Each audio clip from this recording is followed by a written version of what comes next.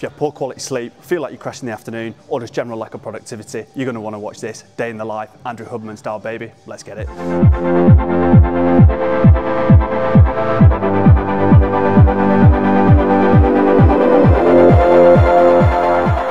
Welcome to another G-Dubs video. This time we're going to be taking on Andrew Huberman's full daily routine, optimizing your daily activities, things you need to get done work-wise, things throughout the day, medial tasks, optimizing all those to maximize the amount of time you have in the evening to do whatever you want, whether that's uh, exercise, whether that's spend time with family, relax on your own, play Call of Duty, whatever it is, you want to spend as much time doing the things that you want to do at night and you've got to get other things done during the day. Who is Andrew Huberman, you might be asking? American neuroscientist, graduate of Stanford School of Medicine, so he knows a thing or two in the health and fitness space, everything backed by science. He's an absolute wizard. Ultimately, a lot of these videos online have done it and shown you the day, but none of them have broken it down in terms of specific step-by-step -step stages, easy to follow along. So if you do find it useful, do find it helpful, drop me a like down below. I'm still en route to 1,000 subscribers. Hit the button and do me a favor. Without further ado, baby, let's get cooking stage number one is ultimately get up super early. Huberman gets up at 6 a.m. However, due to being in the depths of winter here in the UK, here near London, we're going to have to push that back slightly. So 6.45 a.m. now, always starts his day with getting some hydration in the system. I usually go for one of these Ghost Hydration products, absolute straight banger. However, the man, the myth, the legend goes for water with a little bit of salting. You want to be aiming for 226 doesn't really say much. We're going to be getting absolutely loads in there. You want to be going for 226 milliliter water per hour you're awake for the first 10 hours. So do you know what I mean? Start the day off strong, like anything, and like with cricket, you want to get ahead of the run rate. So we're going to get this in the system now. Do you know what I mean? Loads and loads of benefits, obviously drinking water, better skin, better for your metabolism, flushes the body out, um, I guess removes waste from the body, uh, regulates your temperature, lubricates the joints, and all that good stuff. In terms of sleep, there is like you want to be in, going in what you call the ultradian cycle, so within 90 90 minute cycles. So you don't want to be doing eight hours sleep. You either want to do uh, uh, six hours, seven and a half, or nine. To be honest, I usually probably have nine hours sleep, um, but obviously I wanted to make sure we get up early. So had seven and a half last night, got up at 6.45, Hopefully our sun will be rising very shortly so we can get straight into stage two, which is going to be fired up straight after this clip, which is a little bit of sunlight in the bones. But yeah, cheers now to the salt water, get the electrolytes and we'll kick things off. Cheers.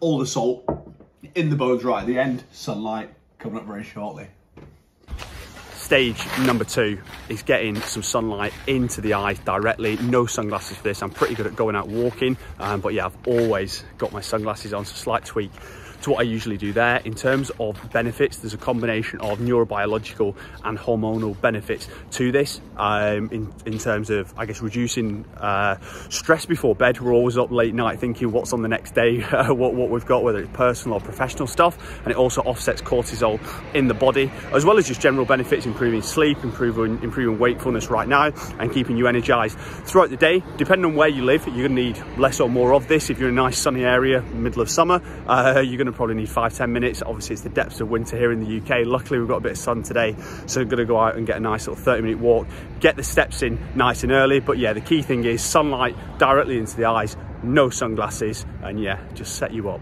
for an absolutely plur day. Cheers now.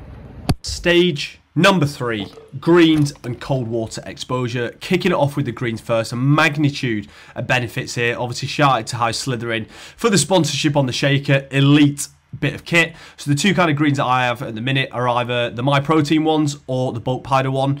Huberman himself uses a brand called AG1, so we'll be giving that a spin along with the Ghost version of the greens in the not too distant future. All have a magnitude of benefits, but mainly around do you know what I mean? A, a, huge amount of vitamins and minerals into the system first thing in the morning. Probiotic support for gut health digestive support, immune system support, boosting metabolism, energy, and reducing stress levels throughout the day. All in all, banging bit of kit. In terms of cold water exposure, you can either do an ice bath, you can either do a shower, or you can go for a little bit of the old dipping. For the purpose of the video, just did the ice cold shower. Trying to get an angle on here was an absolutely outrageous bit of kit, but you know, we will have to make do. In terms of time wise, you want to be aiming for 11 minutes um, or above for the entire week itself, uh, depending on how you want to break that down. If you're going to do, do you know I mean? Per day, obviously a minute and a half or slightly more, um, or if you're going to go two or three times to a certain spot, again, that's going to be a little bit easier um, in larger chunks. In terms of benefits, reducing muscle pain, stiffness after exercise, reducing swelling and inflammation, so that recovery is going to be elite. Improving risk factors for cardiovascular disease, such as blood pressure and cholesterol levels, a huge boost in terms of the immune system helping lower the risk of different infections and just overall general well-being. And there's been lots and lots of studies that show the benefits um, uh, around obviously depression um, and obviously yeah, your mental state as well. And i guess for, from my personal perspective one of the points that i thought was probably most interesting um, was michael phelps when he was in the 2008 Olympics, obviously in China, when he won his late eight gold medals, he had to burn an extra two, eat an extra 2,000 calories per day because the pool was three degrees colder in China that he trained in. So ultimately, it's going to be elite for the rig, it's going to be elite for the mental game, and it's just an all-round top draw bit of kit. Stage number four, delaying this delicious bit of kit. A little coffee. I don't really drink coffee in the morning anyway, so it's not too much of an issue delaying that. But for I know a lot of people, do you know I mean? First thing you do, go and bang a coffee in the system. However, this is what induces sleepiness later in the day, the afternoon especially, obviously due to a buildup of adenosine in the system. So yeah, the advice there is to yeah push that back 90 to 120 minutes. So yeah, we're at that kind of 120 minute mark now. So yeah, to be enjoying this little delicious bit of kit. Obviously, shout out to the king as always on the front. And he talks about this morning section now of when you want to perform your main cognitive tasks, things that are really going to provoke thoughts in the brain. So obviously start off with a little bit of reading. I'm on a little bit of Jordan Peterson at the minute, absolute goat. And I usually find that I'm terrible at reading. So I usually think that let's just do 10 pages a day, break it down into smaller increments. It's a lot easier to achieve. Um, and then, yeah, you go into your kind of main workload after that. So you kind of warm the brain up as you would do like physical activity and exercise, and then go into that kind of main thought provoking task of the day. So yeah, we'll get into a few pages of this and yeah, straight into a little bit of work straight after. Cheers now.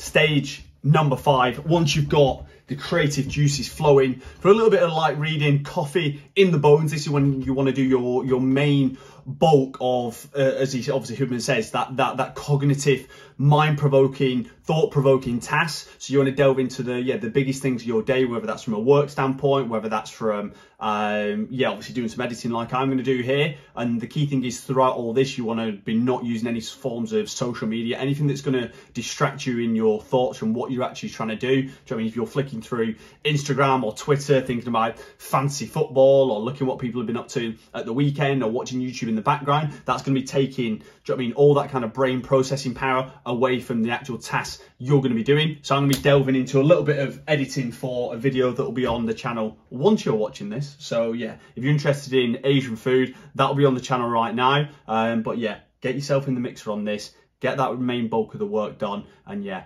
earn the rest of your day.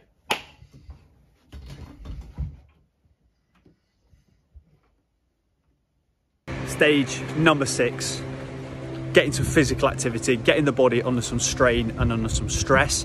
Um, I usually train after work, just I think I usually perform a little bit better and feel a bit better after you've got some after you've got some food in the system, food in the bones. However, for the purpose of today, in the coming weeks, we'll be mixing that up and we'll be going in the middle of the day fasted to see um, to see how things get on. Um, if I do go to the gym in the day as well, I've got a walk there, so nice bit more of. Uh, yeah, some sunlight in the eyes, in the bones. Um, it's about 200 cal active calories there and back. Key things here are no phone in the gym. Obviously, I'm an absolute sucker for listening to, I don't know, some fantasy football videos, something on YouTube, flicking through Insta, flicking through Twitter. And again, it just distracts you from what you're trying to do, your list, thinking about it, um, and so forth. So yeah, you want to be doing 10 minutes of, yeah, active warm up cardio um, to get things going. And then, yeah, no longer than 50 minutes of heavy lifting. So yeah, bang the tunes, fade that in. See you in the gym.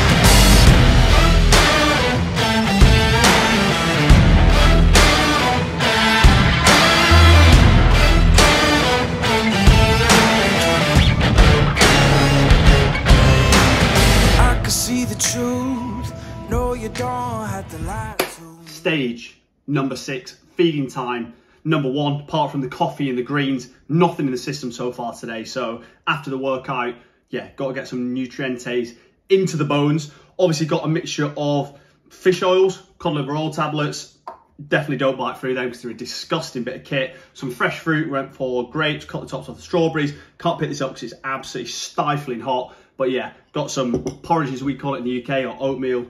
As you absolute fresh pops in America would call it ghost protein, literally the, the best protein you will ever try in your life. The chocolate chip one is banging, the cinnamon one's banging, the cereal milk mid-tier, um, but yeah, unbelievable consistency. It has little chocolate chips in there as well, which is top drawer. As always, little taste test for the boys. Unbelievable bit of kit. But yeah, let's keep this open. Let's whack the cod liver oil tablet.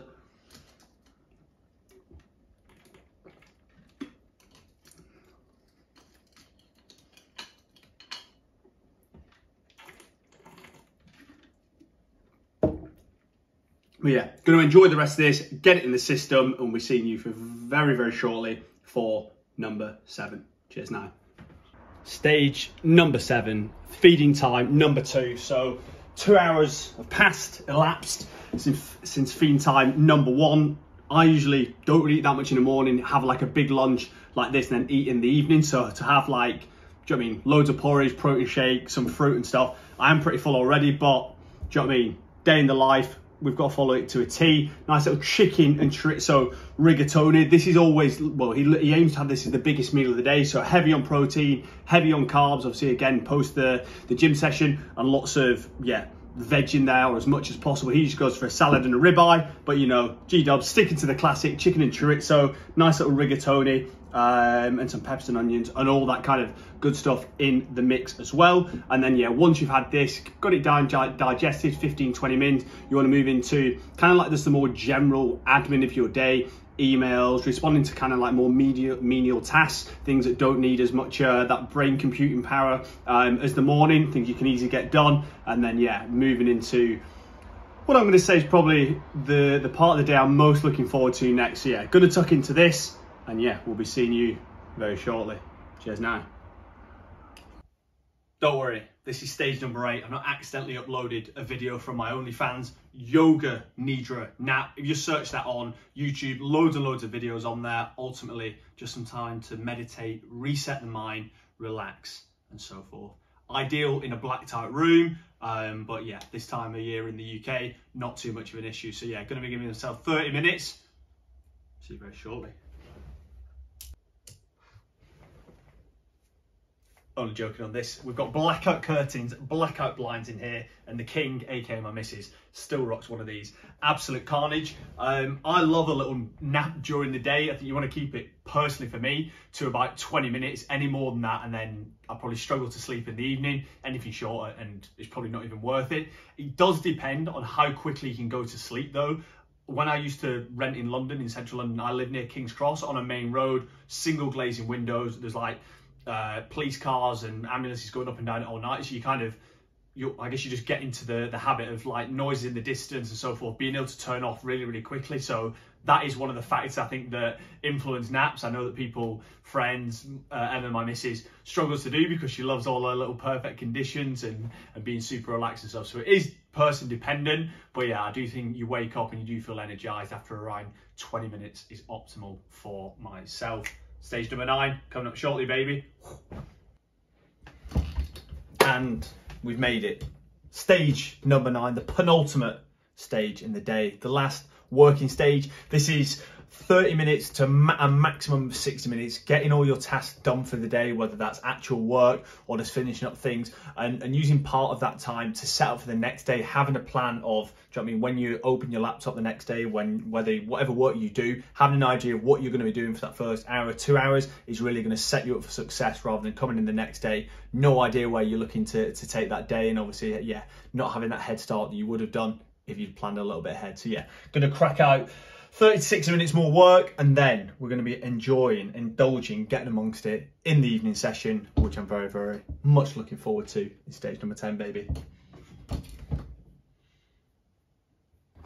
Stage number 10. We've made it throughout the day. As I said, the goal is to get all the key tasks done, all the, the things you don't really want to do, but you know you've got to get done as early as possible, optimizing your time and maximizing your time in the evening. The king, aka the girlfriend, number one comment, who is the king, she's number one photographer behind the camera, cooked up a lovely little sweet and sour chicken number, bit of football action, and about to delve in to a little bit of gaming, flying a few Call of Duty servers. In terms of my review of the day, obviously I can't say, oh, 100% it works or 100% it doesn't, doing it one day. So I guess I'm going to be rolling out a few things over the coming weeks and months. For me, the positives I'm definitely going to take are uh, the cold showers, getting up early and getting some sunlight into the eyes. I think they're all super, super positive things, keep you energized throughout the day. The negatives, I'd say for me, are ultimately the it's dependent on your work schedule. If you're super flexible, you can do these things. If you're traveling to an office, if you're commuting into London, whatever it is like that to work, or you have to be in an office nine to five, eight to six, whatever it is,